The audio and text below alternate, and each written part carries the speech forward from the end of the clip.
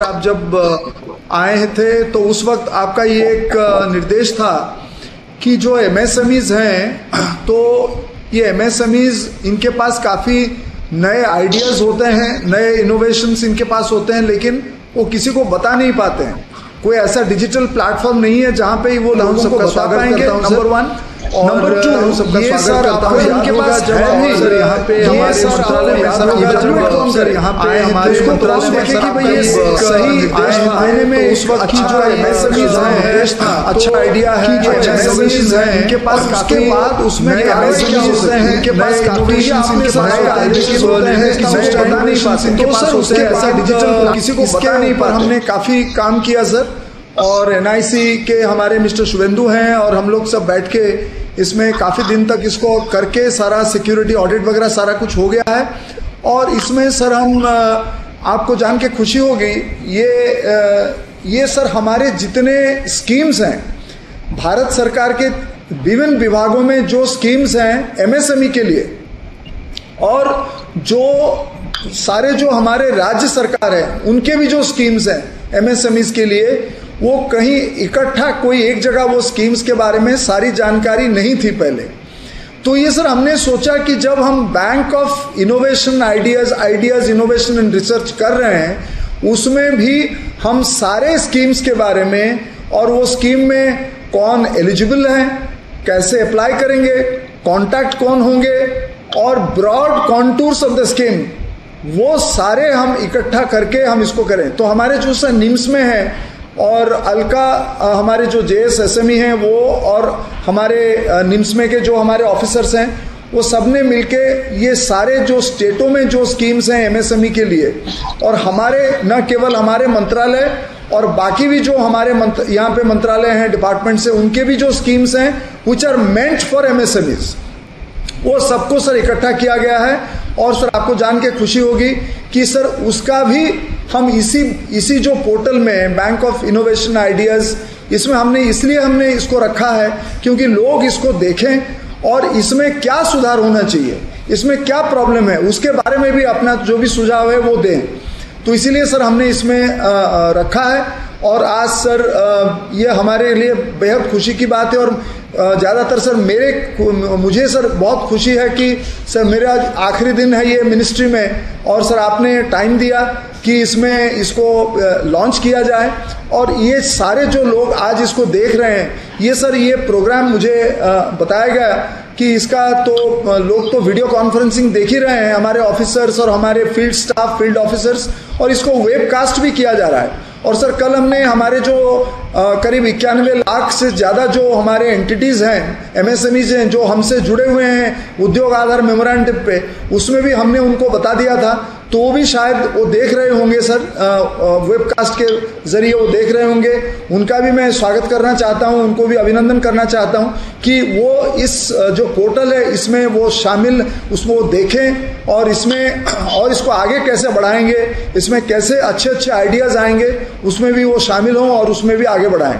तो सर ये sir background है सर इसका।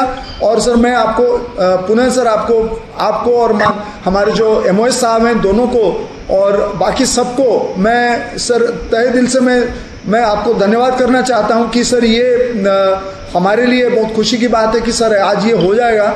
और सबको एक मौका मिलेगा कि हर स्कीम में और स्कीम के अलावा भी अगर किसी के पास कोई आइडिया है, उसको वो वहाँ पे डाल दें। और इसका, sir most important thing is it is not just crowd sourcing of ideas it is crowd evaluation of ideas ये, सर, बहुत बहुत बड़ी बात है, सर, इसमें। सर, मैं इतना कह के मेरा, सर जो इतना मैं बताना चाहूँगा। और अभी इसके बाद, सर, मैं हमारे जो माननीय एम साहब हैं, उनको भी मैं अनुरोध करूँगा कि कि निवेदन करूँगा कि अगर वो दो शब्द वो कहना चाहें वो बताएँ और मार्गदर्शन करें। और उसके बाद सर मैं हमारे या उससे पहले अगर उससे पहले अगर आप एक प्रेजेंटेशन देखना चाहेंगे पोर्टल के बारे में वो भी हम दिखा सकते हैं सर। और उसके बाद में एम साहब बोलेंगे। ये भी हो सकता है सर। जैसे आप कहें तो उसे कर देंगे। अगर आप दिखाना चाहेंगे। प्रेजेंटेशन सर सर इनोग्रेशन के बाद करें। नहीं पहले प्रेजेंटेशन दिखा दीजिए, फिर राज्य मंत्री जी करेंगे। उनको भी आइडिया आ जाएगी कैसा आएगा। ठीक है ठीक है सर ठीक है सर अभी शुभेंदु जी, आप इसका प्रेजेंटेशन कर दीजिए और जल्दी आप बता दीजिए कि कैसे क्या क्या किया गया है और ये कैसे काम करेगा, आप ये बता दीजिए।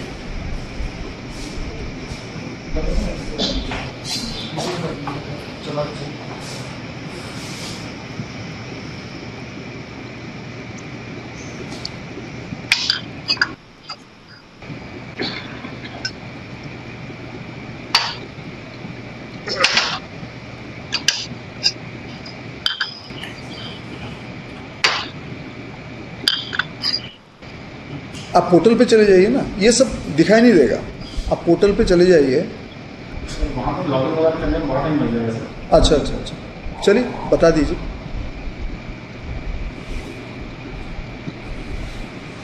बताइए बताइए।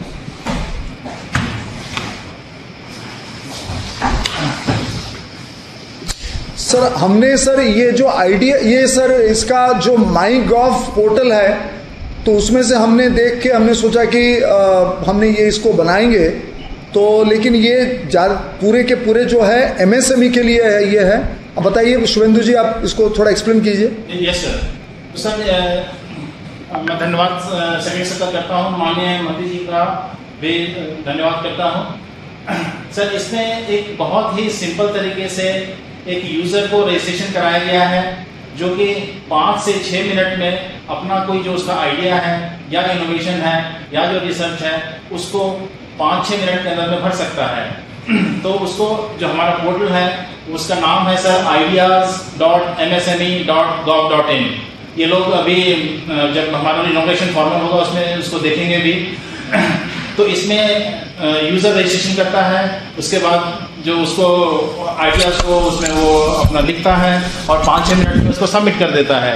इसके बाद हमारे जो विभाग के अधिकारी लोग हैं, उस आइडियाज़ को, उसको इवेलुएट करते हैं और उसको पब्लिक डोमेन में पब्लिश कर देते हैं। अगर वो उसमें कुछ उसमें अच्छी बात है तो। उसके बाद क्राउड सोर्सिंग का काम आता है सर। बहुत सारे लोग जो इस आइडियाज़ में इंटरेस्टेड हैं, वो उसको रेट कर सकते हैं। हमने छः सात पैरामीटर दे रखे हैं, सर। कि क्या इससे एम्प्लॉयमेंट बढ़ सकती है? क्या ये लीन मैन लीन मैन्युफैक्चरिंग की तरफ़ बढ़ रहा है? इस तरह के सात आठ पैरामीटर हमने दिए हैं जो क्राउड सोर्स के थ्रू उस आइडिया को रेट कर सकते हैं। तो public publicly it can be rated जो, जिसको सबसे ज़्यादा रेटिंग मिलेगी, वो आइडिया सबसे ऊपर पब्लिकली दिखने लग जाएगा। इसके बाद सर ऑफिसर का काम हो गया क्राउड सोर्स का काम हो गया इंडिविजुअल का काम हो गया। इसके बाद सर हमने एक एक और हमने जो स्टेक होल्डर हैं, वो हैं अपने वेंचर कैपिटलिस्ट अगर किसी को ये लगता है कि इस आइडिया में कुछ आ, मतलब दम है तो वेंचर कैपिटलिस्ट उससे कनेक्ट कर सकते हैं। उसके सारे कॉन्टैक्ट जो आइडियाज़ गिवर हैं उसको मिल जाएँगे और उसे वो ईमेल के थ्रू फ़ोन इसके फ़ोन के थ्रू या उसके जो सोशल मीडिया लिंक उसने दिए हैं आइडिया गिवर ने उसके थ्रू कनेक्ट कर सकता है सर तो ब्रॉडली सर ये ये फीचर हैं अपने पोर्टल के और इसमें हम और भी आगे चल करके जैसे एक्सलेटर हैं इंक्यूबेटर्स हैं बैंक्स हैं फॉरेन कोलोब्रेशन की इस तरह की बातें भी सोच सकते हैं सर तो फ़िलहाल के लिए मैं अभी सर इतना ही बताना चाहूँगा और उसके बाद अब दिखाई दिखाइए ना उसमें थोड़ा सा। थोड़ा सा मैं सर प्रेजेंटेशन के फॉर्म में थोड़ा दिखा देता हूँ। वैसे ये अपना सर ये अपना होम पेज है। के कई आप देखेंगे, ये सर इसने लॉगिन कर लिया सर इसने यूज़र ने जो रजिस्टर्ड यूज़र ने अपना लॉगिन कर लिया, और इसने अपना ये सर आइडिया देना शुरू कर आइडियाज़ के बारे में लिखना शुरू कर दिया। आप देखेंगे सर, हमने serial number one two three करके दे रखा है। इस तरह के चौदह, पंद्रह पैरामीटर्स हैं। वो किस एरिया में काम करना चाह रहा है? वो किस सेक्टर में काम करना चाह रहा है? जैसे रूरल टेक्नोलॉजी में है बेस टू वेल्थ में है एग्रो प्रोसेसिंग में है खादी में है, इनके बारे में लिख सकता है ताकि इसको बाद में इवेल्युएशन में आसानी रहे। इस तरह के अपने वो कुछ सोशल मीडिया के लिंक जैसे फेसबुक यूट्यूब पे उस आइडिया के बारे में जो है वो भी लिख सकता है, जो कि इवेल्युएशन में यहाँ पे काम आ सकते हैं सर और इस तरह दो तीन चीज़ें और भर करके अपना वो सबमिट कर देता है सर और सर अब मैं स्कीम्स के बारे में बताना चाह रहा हूँ जो हमारे सेक्रेटरी सर ने भी बोला कि सारे मंत्रालयों के एमएसएमई रिलेटेड स्कीम इस पे अवेलेबल हैं। अगर किसी का आइडिया किसी मंत्रालय के स्कीम में फंडिंग के लिए अवेलेबल है तो वो इससे बड़ी आसानी से उससे फंडिंग भी ले सकता है सर सारे मंत्रालयों के सेंट्रल के और और सारे स्टेट्स के। तो उसके पास कई ऑप्शंस अवेलेबल हैं फंडिंग के सर फंडिंग के अलावा कई स्कीमों में सर टेक्नोलॉजी के बारे में भी उसको बताया जाता है। और भी कई तरह की जो सरकार स्कीम्स लाती है या कुछ और नई चीज़ लाती है, उसके बारे में भी जानकारी दी दी गई है सर। और जैसे एक मैंने एग्जांपल दिया है सर, ये किसी ने सपोज़ के किसी ने वायरलेस पेशेंट हेल्थ मॉनिटरिंग का कुछ आइडिया दिया। अब इसको कैसे क्राउड सोर्स करके लोग इसको इवेल्युएट करेंगे? सर, आप देखेंगे हमने पहले पहले पूछा है कि does the idea solve the real time problem वो यस और नो कहेगा। हाउ स्ट्रॉन्ग और innovative is the ever provision of the product being offered a solution तो सॉल्यूशन बहुत अच्छा है, या बहुत मीडियम उसका कैटेगरी तो आप देखेंगे सर खाली चेक बॉक्स उसने करना है। तो पाँच पाँच मिनट से भी कम, दो या तीन मिनट में वो इवेल्युएट करके एक हम उसको रेटिंग दे देते हैं। हर हर हर उसका एक रेटिंग है सर तो उससे उसको नंबरिंग आ जाती है। तो जो जो बेस्ट नंबर्स गेन करेंगे, वो सबसे ऊपर आएँगे और लोगों को वो दिखाई देंगे, सबसे ऊपर हाईली रेटेड रोल करके। So sir this is all about the portal in brief और जब जब लोग आएँगे सर इसके अंदर में तो उनको और भी अगर कुछ जानकारी होगी तो फीडबैक वगैरह हमें देंगे तो हम इसको इम्प्रूव कर सकते हैं, सर। सर, मेरी तरफ़ से इतना ही। धन्यवाद, सर। सर, इसमें जैसे सर, आप, ये तो सर डिटेल में सर हम आपको बताएँगे, सर, जब आप सर, यहाँ पे जब आएँगे तो हम इसको डिटेल में सारा कुछ दिखाएँगे। इसमें ज़्यादातर सर ये बताया गया है कि अगर किसी के पास आइडिया है तो उसके लिए उसके लिए एक फॉर्मेट बना दिया गया है कि उस उस फॉर्मेट में वो अपना आइडिया यहाँ पे दे दें। एक तो ये बात है। दूसरी बात है कि इसको हम इवेलुएट करा रहे हैं, वो आइडियाज़ को, और जिसमें कि क्राउड इवेलुएशन है सर इसमें। और उसको होने के बाद में जैसे कोई अच्छा आइडिया है और बाहर का बंदा जैसे अटल इनोवेशन मिशन है, और बाकी हमारा नेशनल इनोवेशन जो फाउंडेशन है एनआईएफ है जैसे कई सारे जैसे अभी इसको फ्यूचर में जितने भी आई हैं और जितने भी लोग हैं और बाहर के जो लोग हैं, जो वेंचर कैपिटल्स हैं, जो प्राइवेट इक्विटी फर्म्स हैं, बाकी लोग हैं, सब इसके साथ जोड़ सकते हैं। तो अगर किसी को एक अच्छा आइडिया अच्छा लगा तो उन्हों, वो उनको लगेगा कि भाई ठीक है, इस आइडिया को आगे लेके चला जाए और उनको वो कांटेक्ट कर सकते हैं, उनकी सारे details telephone number contact details emails वगैरह, सारा कुछ रहेगा, ताकि वो उनके साथ बैठ के, उनके साथ मिल के उस आइडिया को आगे लेके चलेंगे।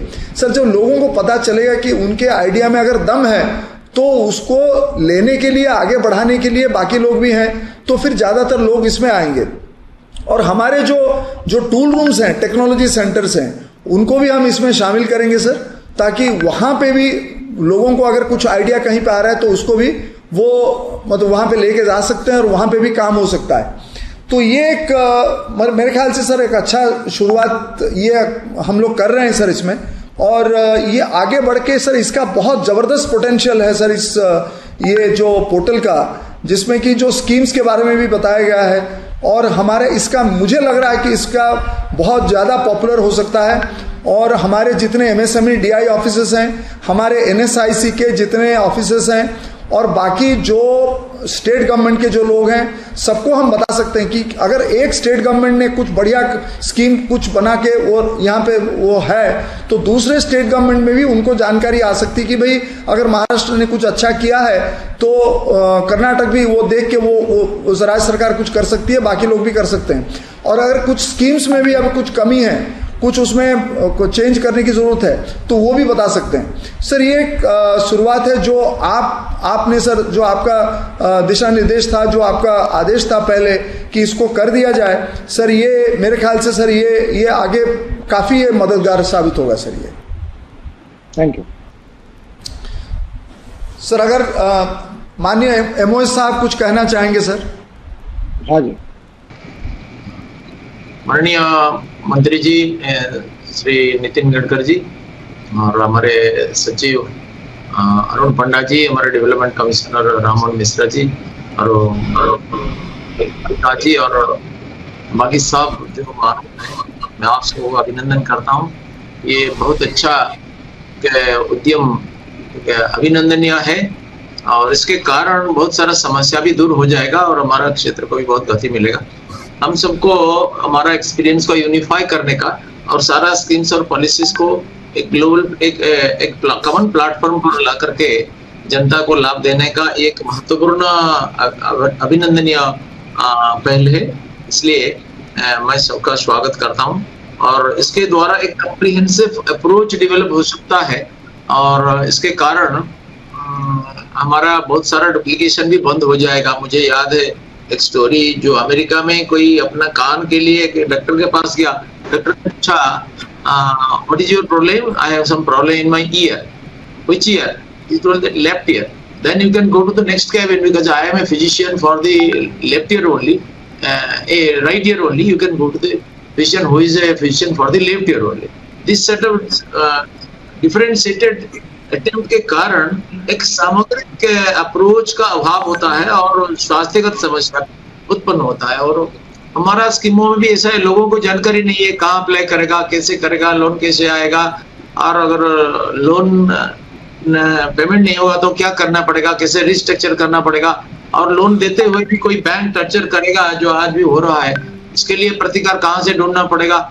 और ये जो पोर्टल पोर्टल भी विकसित हुआ है ये भी बहुत सारा प्रभावी नहीं हुआ है। इसका इम्प्लीमेंट कैसे होगा? इसका इम्पैक्ट असेसमेंट कैसे होगा? इस सारा अप्रोच हम इसके द्वारा कर सकते हैं और लोगों को जानकारी मिलेगा।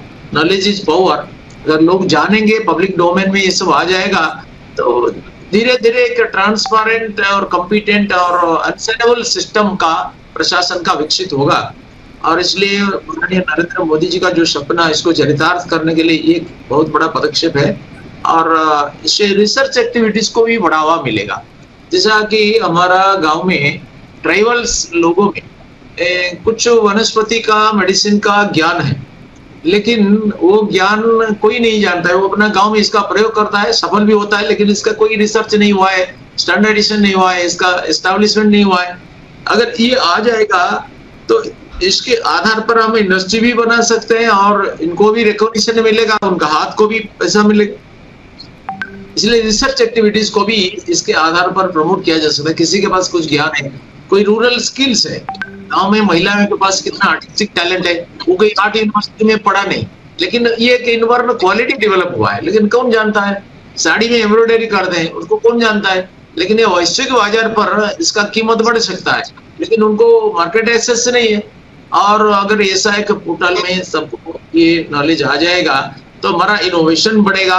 और हमारा रूरल टैलेंट को भी स्वीकृति मिलेगा और उनको अभी अपना रोज़गार बढ़ाने की चांस मिलेगा।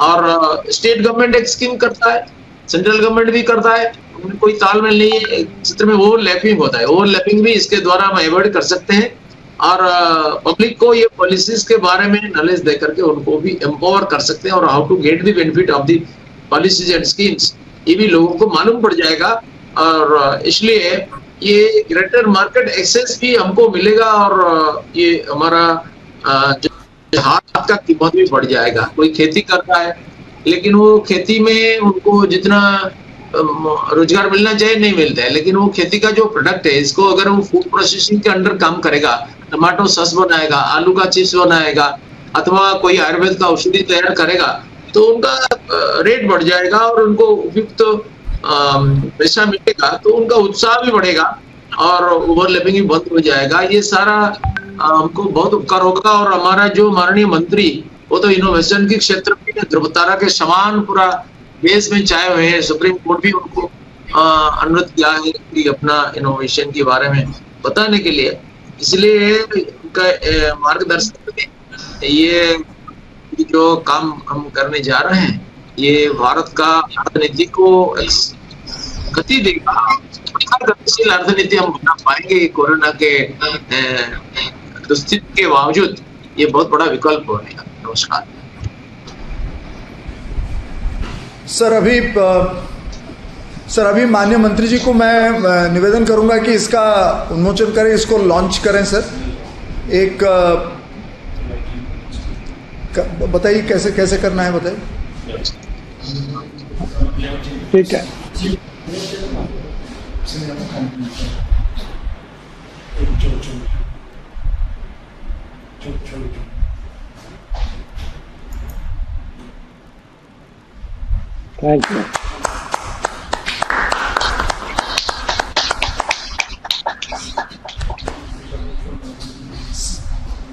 सर इसमें तो जैसे बताया था, सर, पहले इसके बारे में तो थोड़ा बता ही दिए हैं पहले से।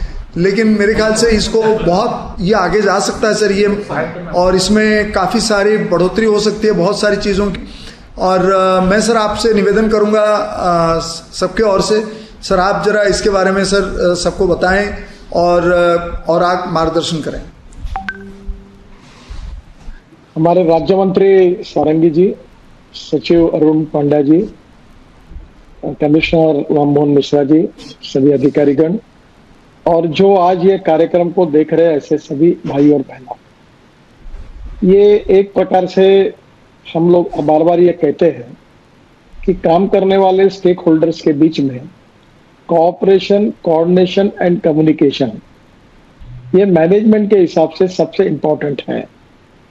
दूसरी बात, एक व्यक्ति ने किया हुआ अच्छा रिसर्च उसके बाजू वाले व्यक्ति को पता नहीं होता और मैं ये मानता हूँ और जो मेरी बात को मैं बार बार रख रहा हूँ, रखता हूँ लोगों के सामने, कि innovation entrepreneurship science technology research skill अब उसको मैंने और जोड़ दिया एक्सपीरियंसेस इसको हम नॉलेज कहते हैं।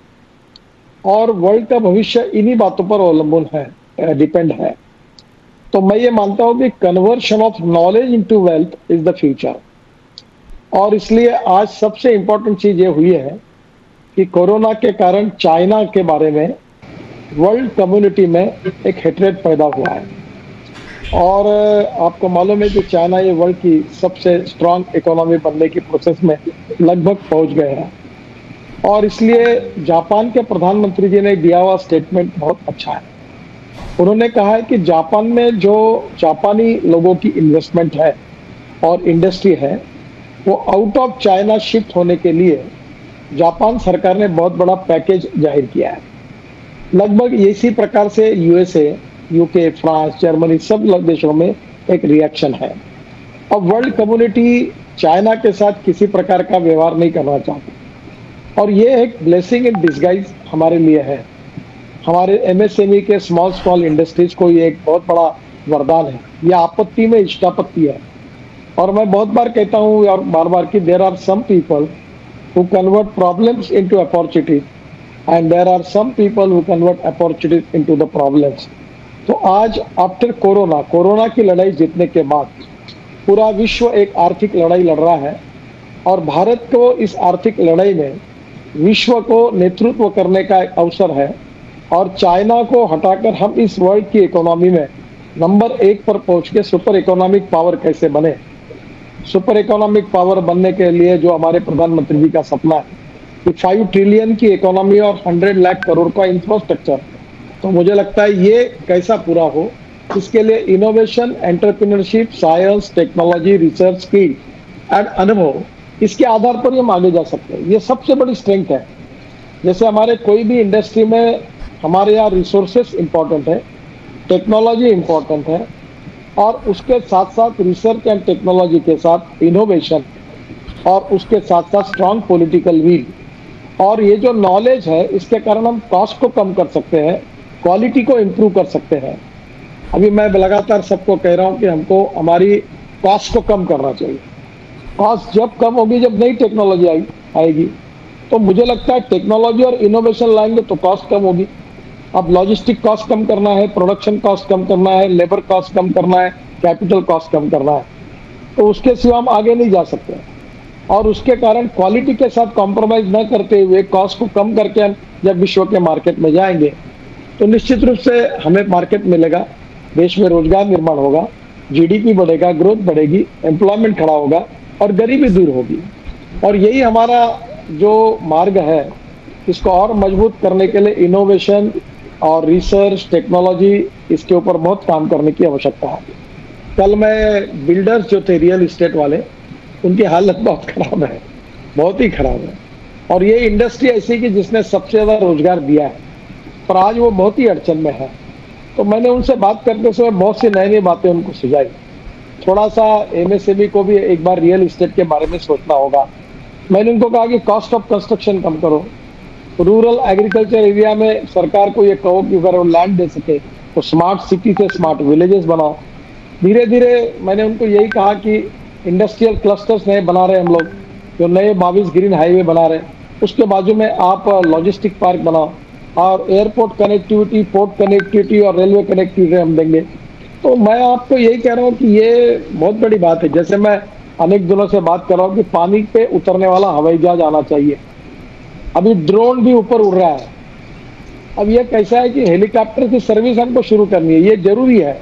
हम लोग mass rapid transport on electricity में, जैसे हम लोग अभी ऑस्ट्रियन कंपनी डॉफल मेयर के साथ मैंने वेबकॉस का एग्रीमेंट करा दिया टेक्निकली जॉइंट वेंचर ताकि हम ropeway cable car funicular railway बनाए। Mass rapid transport on electricity से एकदम कॉस्ट कम हो जाएगी। हम इलेक्ट्रिक हाईवे बनाने की बात कर रहे हैं। और आज मैं देख के आया स्वीडन में। अभी दिल्ली, मुंबई में हम पहला एक्सपेरिमेंट करने जा रहे हैं। ये नए नए उपक्रमों के लिए रिसर्च और स्किल्ड और इसके साथ जो भी रिसर्च आएगा, उसमें नए नए बातों को ऐड करने की आवश्यकता है। उससे देश का भविष्य बनने वाला है। और ये जो यंग टैलेंट है इंडिया का, जिसने आईटी में, आज वर्ल्ड में अपने को प्रूव किया है। वो टैलेंट अब अलग अलग क्षेत्र में आने वाला लड़कों का टैलेंट आगे आ सकता है। और मैं देख रहा हूँ अपने आजू बाजू में।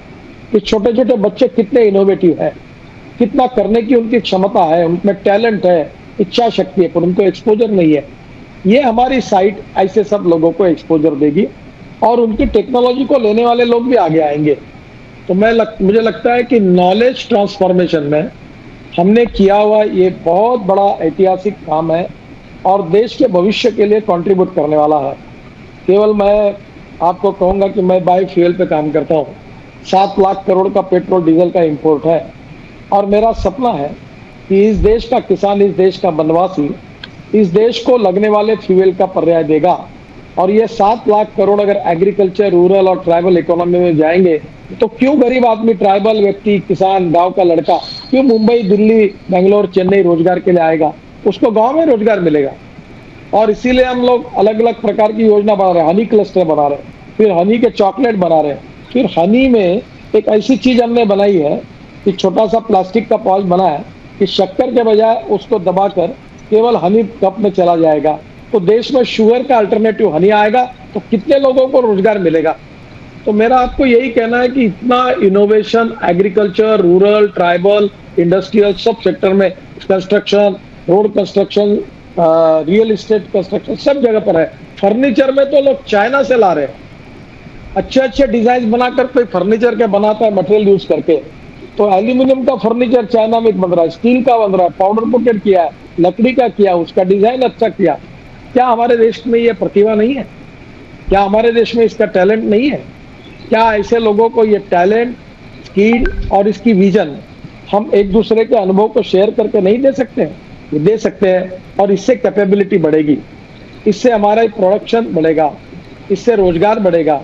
इससे ग्रोथ बढ़ेगी, इससे एक्सपोर्ट बढ़ेगा और देश आगे जाएगा। तो एक बहुत अच्छी शुरुआत आज हुई है। मैं जब मंत्री बना, तब से इसका फॉलोअप कर रहा था। मेरी इच्छा थी कि यह जल्दी से शुरू हो जाए।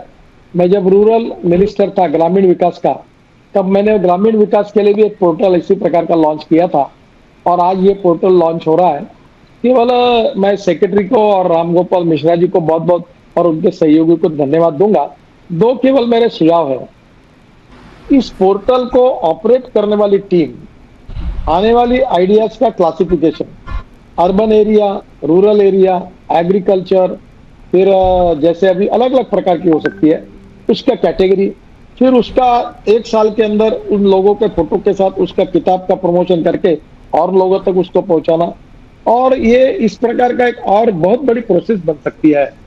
थोड़ा सा ये एनालिसिस करने वाला इस पोर्टल की देखभाल करने वाली टीम को भी क्वालिटेटिव रखना होगा। तो इसकी चिंता करनी पड़ेगी और इस टीम को मेरे ऑफ़िस से और राज्य मंत्री जी के ऑफ़िस से और सेक्रेटरी के ऑफ़िस से जोड़ना होगा। तो मुझे लगता है ये भी बहुत अच्छी शुरुआत हुई है। मैं सेक्रेटरी अरुण पंडा जी को उन्होंने आज जो मैंने उनको टास्क दी थी उस उपलक्ष्य में आज ये पूरा किया रिटायर्ड के पहले। तो मुझे बहुत खुशी है उनको धन्यवाद दूँगा। मिश्रा जी को भी दूँगा, एनआईसी को भी दूँगा। एनआईसी के लिए बेचारे जो बैठे इनके ऊपर मेरी नाराज़गी नहीं है और दो दिन पहले मैंने रोड मिनिस्टर का इनको ब्लैक लिस्टर करो और इनको बिल्डिंग में मत आने दो, इतने घटिया लेवल का काम ये करते हैं करके। क्योंकि इनमें प्रोफेशनल अप्रोच नहीं है। मेरी वीडियो कॉन्फ्रेंस थी, पूरी खराब कर दी उन्होंने। तो मुझे लगता है कि एनआईसी को कहो कि कॉम्प्रोमाइज ना करें। तो टेक्नोलॉजी अच्छी चाहिए, उसके लिए कुछ चाहिए तो हमें बताएँ, हम देंगे। पर इसमें कोई किसी प्रकार का टेक्निकल फॉल्ट नहीं पैदा होना चाहिए। इसकी आप चिंता करिए। और नहीं तो मैं पहले ही एनआईसी पर मेरा गुस्सा बहुत हुआ। क्योंकि इनके बैड एक्सपीरियंस से और नॉन प्रोफेशनल अप्रोच से मैंने रोड मिनिस्ट्री में कहा था, इनको ब्लैकलिस्टेड करो। इनके लोगों को हका लो यहाँ से और इनको रूम में, यहाँ अपने बिल्डिंग में मत तक आने मत दो। इतनी मेरे इससे हमारा टोल का भी बैंड बजा। तो मेरा मेहरबानी है। जो एल को हैंडल कर रहे उनके साथ आज ये नहीं, पर उनकी इंस्टीट्यूशन के बारे में मेरा ओपिनियन आपके सीनियर को जाके बताओ। और कम से कम यहाँ आप इस प्रकार से कोई नहीं होगा इसकी चिंता करो। आप मेरी बात के लिए नाराज़ मत होना, क्योंकि पर मैं रोड में बहुत भुगत भोगी हूँ आपके कारण। तो थोड़ा आप जरा इसको कॉशियसली देखिए। यही हाथ जोड़कर मेरा अनुरोध है। राममोहन मिश्रा जी, आपकी भी ट्रांसफ़र हुई क्या?